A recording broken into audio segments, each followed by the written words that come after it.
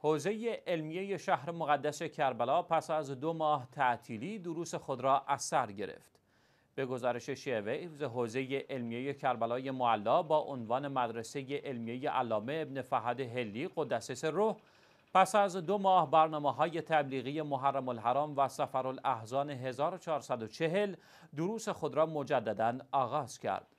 دروس این حوزه علمیه با فرارسیدن دو ماه تبلیغی محرم و سفر تعطیل شده بود تا طلاب علوم دینی از فرصت موجود برای تبلیغ معارف دینی استفاده کنند.